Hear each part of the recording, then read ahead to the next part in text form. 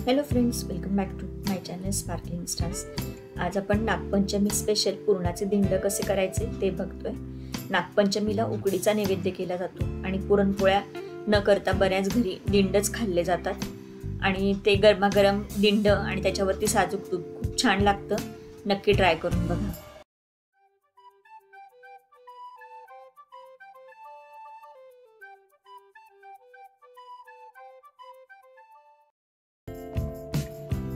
पुरण बनवण्यासाठी मी एक वाटी हरभऱ्याची डाळ घेतलेली आहे. ही आपण स्वच्छ धुवून घ्यायची दोन ते तीन वेळेला. आणि याच्यात दुप्पट पाणी घालून कुकरला याच्या तीन ते चार शिट्ट्या करून घ्यायच्यात. तुम्ही अशीच डाळ कुकरला पण शिजवून घेऊ शकता. मी डब्यात घालून शिजवून घेते मी डाळ स्वच्छ धुवून घेतली याच्यात दुप्पट पाणी घातलंय. आणि याच्यामध्ये आता थोडीशी हळद आणि थोडंसं एक चमचा तेल असं घालूयात. म्हणजे डाळ उतू जात नाही. आणि छान मऊ शिजते. याच्यात आपण कुकरला तीन ते चार शिट्ट्या करून घेऊया.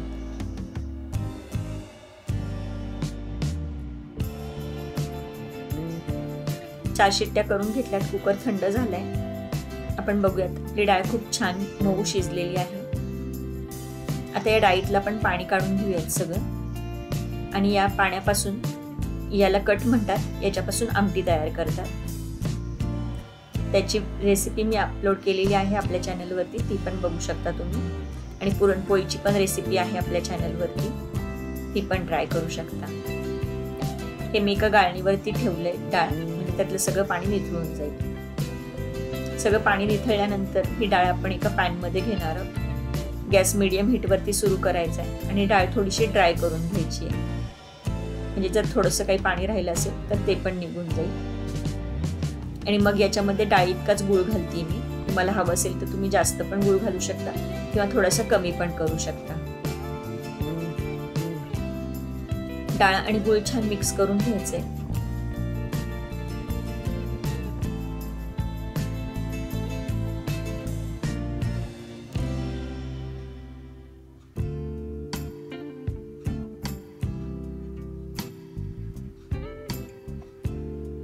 डाळ गुळ छान मिक्स करून एक पाच ते दहा मिनिटं शिजवून घ्यायचंय.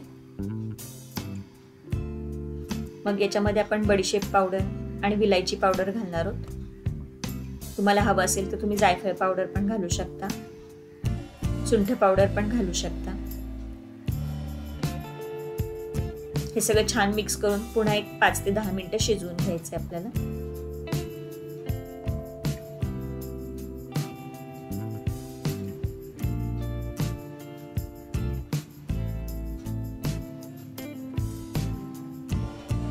पुरण छान शिजलं की त्याचा रंग बदलतो आणि सुगंध पण खूप छान येतो.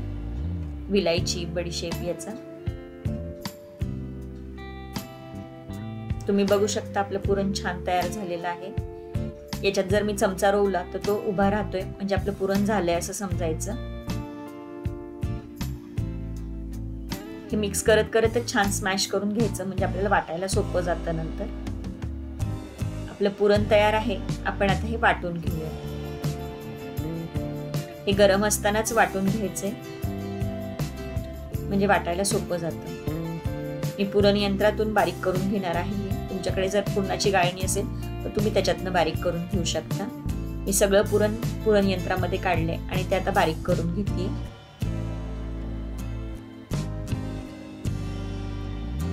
तुम्ही बघू शकता आपलं पुरण खूप छान तयार झालेलं आहे. मस्त बारीक झालंय. छान गोळा होतोय.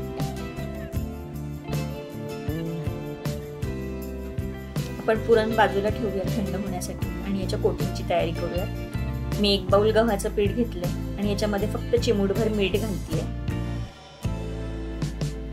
याच्यामध्ये थोडंसं तेल घालतीये मी. आणि थोडं थोडं पाणी घालून त्याची छान कणिक करून घ्यायची आपल्याला सॉफ्ट. जशी आपण चपातीसाठी पोळीसाठी मळतो तशी.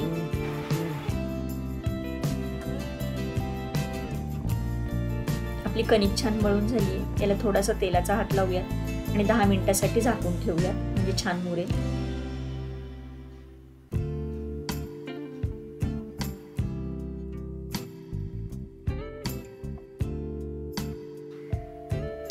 आपली कणिक छान मुरली आहे. आता आपण याचे धिंड करून घेऊयात. थोडासा तेलाचा हात लावून एकसारखं करून घेऊयात या कणकेला.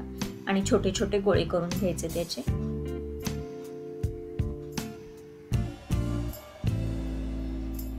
ज्या प्रमाणात तुम्हाला दिंड करायचे छोटे मोठे त्या साईजचे तुम्ही गोळे करू शकता.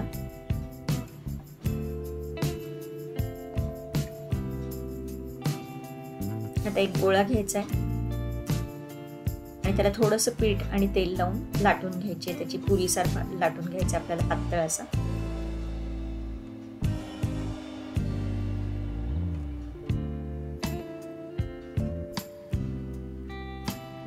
जितकं शक्य तितकं तुम्ही पातळ लाटू शकता. मी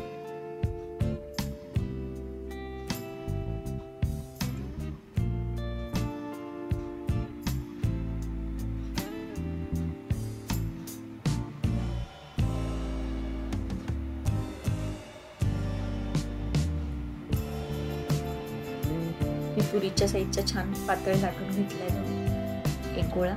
आणि आता त्याच्यात पुरण घालायचंय. आणि त्याला शेप द्यायचा आहे आयताकृती असा आणि दोन्ही बाजूनी मग एकावर एक अशा साईडच्या पोळी ठेवायची आणि व्हिडिओत दाखवल्याप्रमाणे याचं भिंड बनवून घ्यायचं. तुम्ही बघू शकता छान आयताकृती आकार आलाय आपल्या धिंडाला असेच आपण सगळे बनवून मी आणखीन एक तुम्हाला बनवून दाखवते. एक छोटा गोळा घ्यायचा त्याला पीठ आणि तेल लावून छान पातळ पोळी घालून घ्यायची.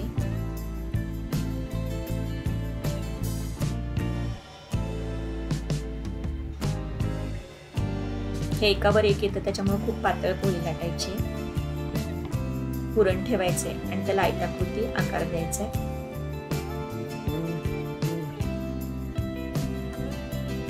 आणि मग बाजूची पोळी एकावर एक अशी ठेवून घ्यायची आपलं दुसरंही दिंड छान तयार आहे. असेच मी बाकीचे बनवून घेते.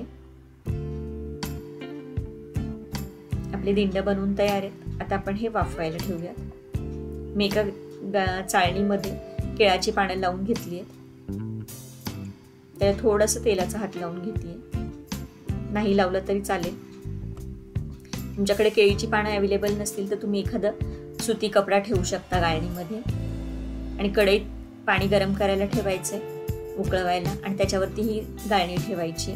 आणि वरती एक झाकण ठेवायचंय. अशा पद्धतीने आपण वाफवून घ्यायची धिंड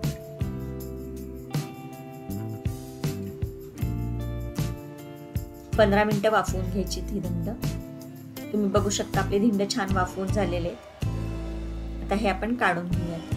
आणि गरमागरम सर्व करूयात. या दिंडावरती तूप घालायचे म्हणजे याची टेस्ट खूप छान येते. नागपंचमीला हा नैवेद्य तुम्ही नक्की ट्राय करून बघा. आणि घरीही खायला तुम्ही करू शकता. तुम्हाला जर माझे रेसिपीज आवडत असतील तर व्हिडिओला लाईक शेअर कमेंट करा. चॅनलला सबस्क्राईब करा. पुन्हा भेटूयात अशा छानशा रेसिपीसोबत तोपर्यंत बी सेफ कीप स्पार्कलिंग